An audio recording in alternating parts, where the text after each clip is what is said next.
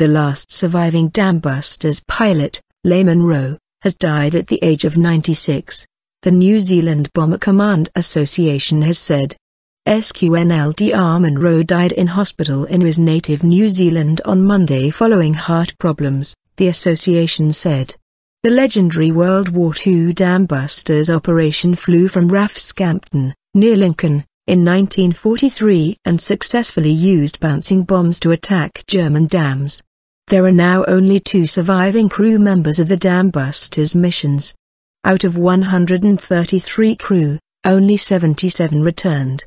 SQNLD Armin aircraft was hit by flak, but he made it home after the hit had destroyed communications in his Lancaster bomber over the Netherlands.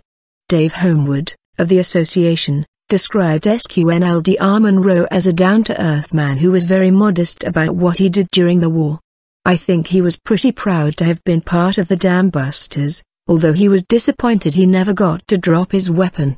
He went on to be a flight commander and did a lot of very important operations after the dam raid, although these are often forgotten because the Dambusters were world-renowned.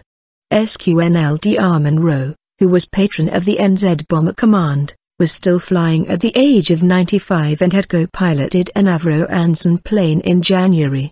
Mr. Homewood added. New Zealand Prime Minister John Key paid tribute, writing on Twitter, Really sad to hear of Les Munro's death. New Zealand has lost a remarkable man who led a remarkable life.